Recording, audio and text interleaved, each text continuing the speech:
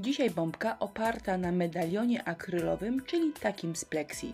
A kształty odlane z akrylu to najdroższe bazy świąteczne, jakie są na rynku, więc zawsze warto wykorzystać ich atuty.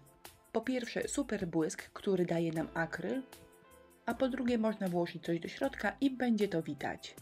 Moje medaliony mają średnicę 11 cm, ale jeżeli lubicie mniejsze, to w dziesiątce, także te obrazki będą się świetnie prezentowały.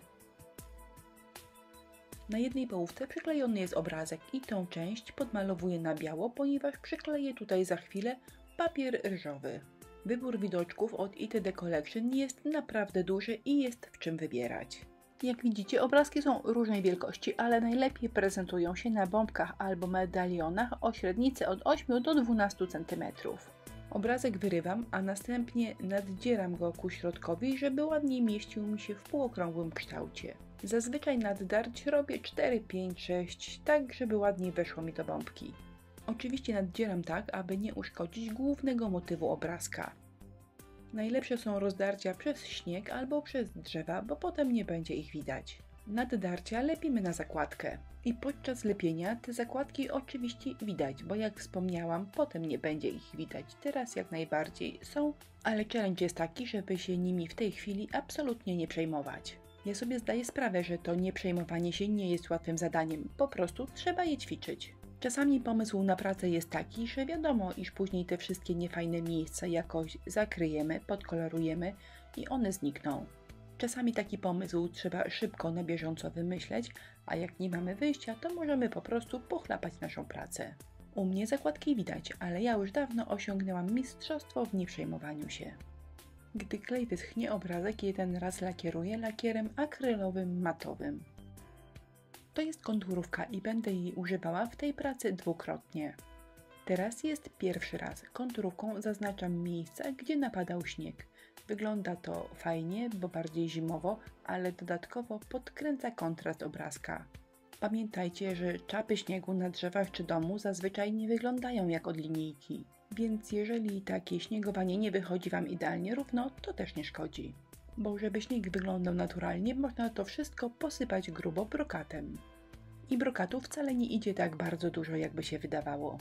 Nadmiar wytrzepuję na kartkę papieru, a potem z powrotem zsypuję do słoiczka. Prosty sposób, znany wszystkim skraperkom, a dzięki temu nic się nie marnuje. Drugim preparatem, który uważam, że rewelacyjnie sprawdza się przy bombkach jest sypki śnieg. Można przykleić go na dowolny klej i zawsze się trzyma.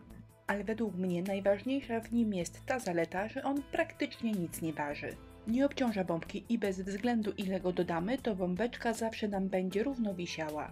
A to jest biały, suchy mech. Miałam go akurat w szufladzie, ale zwykły, glicerynowany, zielony albo biały także sprawdzi się rewelacyjnie. Wklejam go po prostu klejem na gorąco, bo jeżeli mam miejsce, to zawsze do takiej bombki warto coś dodać. Dzięki temu zrobi się bardziej 3D.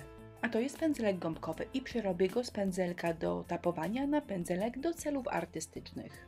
Najlepiej przerobić bardzo stary pędzelek, ale ja już wszystkie w ten sposób wykorzystałam i niestety musiałam Wam ten manewr pokazać na praktycznie nowym. Ten pędzelek ma obecnie taką super moc, że maluje co jakiś czas. Najpierw brzegi obleciałam farbą akrylową, a teraz efektem szronu. Gdy puszczę ten film, to nie wiem, który z tych szronów będzie w sklepie dostępny, ale one oba wyglądają tak samo. Zarówno jeden, jak i drugi jest naprawdę świetny i możecie stosować je zamiennie.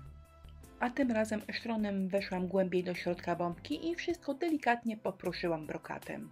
Tył bombki pomaluję farbami akrylowymi i postaram się, aby pasował do tego, co jest z przodu w bombce.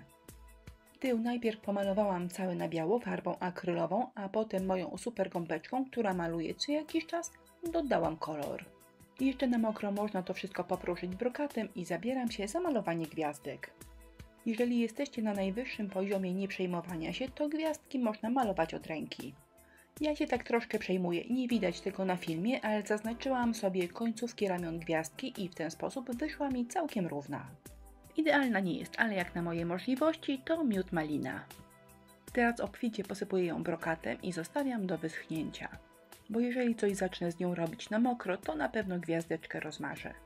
Gdy wszystko jest już gotowe, medalion składam do kupy, bo za chwilę będę dalej malowała gwiazdeczki. Połączenie między połówkami medalionu jest troszkę widoczne, więc delikatnie można je przemalować farbą akrylową albo wycisnąć coś z konturówki i przysypać brokatem. Gwiazdki, które będę malowała na boku medalionu, wolę zaplanować niż malować je od ręki. Już sobie wypróbowałam, że na takiej wypukłej powierzchni zazwyczaj wychodzą mi paskudne krzywulce. Na własne potrzeby zazwyczaj robię tylko delikatne kropeczki na końcach ramion, ale dla Was namalowałam całe gwiazdki. Żeby wszystko było ładnie widać, wzięłam czarny mazak i to nie był dobry pomysł, nie idźcie tą drogą. Albo użyjcie jakiegoś starego i wypisanego mazaka, bo mój był dobrze napigmentowany i troszkę podbarwił mi moje gwiazdki. Bombeczki są już gotowe i stoję jak zwykle przed olbrzymim dylematem, co do nich dowiązać, żeby to wszystko fajnie wyglądało. Czy lepszy będzie jakiś kontrastowy kolor, na przykład czerwony, a może do tego barszczu już nie warto wrzucać więcej grzybów i wystarczy delikatna biała wstążeczka. Dokleiłam i jedno i drugie, żebyście także mogli ocenić, ale według mnie biała wstążeczka prezentuje się ładniej. Jeżeli bombeczki Wam się podobają, to jak zwykle listę wszystkich produktów, które użyłam w tym filmie, zamieściłam na dole, czyli pod tym wideo. Popatrzcie jeszcze chwilkę na bombeczki, a ja Wam za chwilę pokażę, jak ten medalion wyglądał przed ozdobieniem. Wydaje mi się, że ten rodzaj zdobienia powoduje, iż staje on się wewnątrz dużo bardziej przestrzenny niż jest w rzeczywistości. Gdy patrzymy do środka, to czasami wygląda on jak okrągła bombka, a naprawdę jest całkiem płaskim naleśniczkiem. Zobaczcie. I to już naprawdę koniec. Dziękuję Wam wszystkim za uwagę. Jak zwykle zapraszam do naszego sklepu i na inspirello.pl.